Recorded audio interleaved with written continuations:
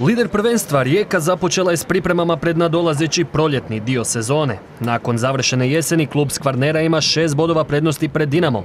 Lijepa prednost, međutim nedovoljno velika za opuštanje budući da je preostalo mnogo utakmica do kraja sezone. Mi smo svjesni svoje odgovornosti do sebe, do kluba, do navijača, do grada, do regije. Imamo podršku, imamo optimizam, raditi mislim da znamo, pokazali smo da znamo i igrati i sad treba tu razmišljati kako o sebi, kako biti ti optimalan. Sigurno da ih, da ih moramo maksimalno iskoristiti, veselimo se tome e, i naravno da nam je svima cilj i želja i da bi voljeli da, da nastavimo tamo gdje smo stali. S obzirom na ishod prvog dijela sezone, motiviranost igrača je na visokoj razini. Veseli me kao trenera, evo to sada još možda nešto osobno, nasmijeh, onako osmijeh na licima igrača kad sam došao u slačionicu. Dobro su oni, odmorili su se i sad možemo početi raditi. Neka im bude sretno, neka bude nama svima sretno. Posljednjih dana najviše je bilo govora o odlasku reprezentativca i vrlo važnog igrača u riječkoj obrani Mateja Mitrovića u Bešiktaš.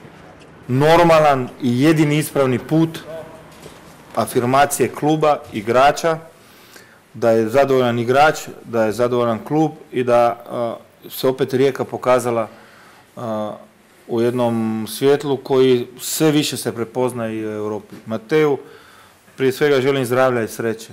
Išao je dosta nemirni Istanbul, ali on kako je miran, ja mislim da će on odmah njih zalediti i da će oni odmah znati u čemu je problem. Odlasko Mitrovića ostaje pitanje tko će ga zamijeniti na poziciji stopera. Za sad nisu poznata imena konkretnih pojačanja, ali se zna na kojim se pozicijama Rijeka želi pojačati. Imamo visoke kriterije i moramo naći nekoga ko prije svega, ali baš prije svega karakterom zaslužuje da, da nosi dres Rijeke. Naravno kvalitetu ćemo procijeniti nas trojica koji smo za to zaduženi, a on će igrama poslije reći da li smo bili u pravu ili nismo. Početak priprema počeo je lagano, a Rijeka će prije odlaska u Portugal koncem siječnja odigrati tri pripremne utakmice na domaćem terenu protiv Bjelovara i Triglava iz Kranja, dok je treći protivnik još uvijek nepoznat. U Portugalu Rijeka će nastupiti protiv danskog Orusa i švedskog Jurgardensa na jakom Atlantik kupu.